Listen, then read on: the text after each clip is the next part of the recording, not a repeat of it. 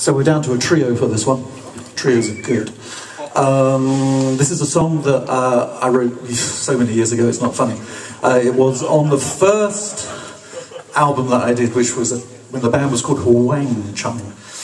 Um, anyway, who cares about all that? Uh, this is a song called I Never Want to Love You in a Half Hearted Way.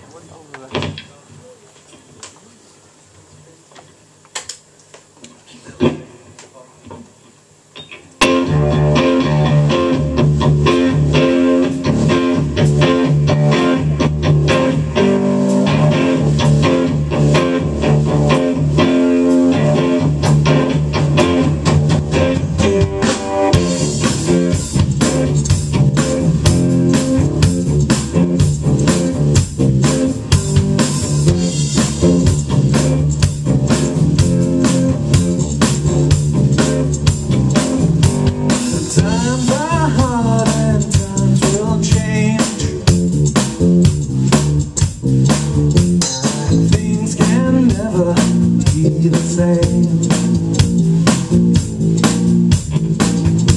A love that's over that makes no sense. I'll never be.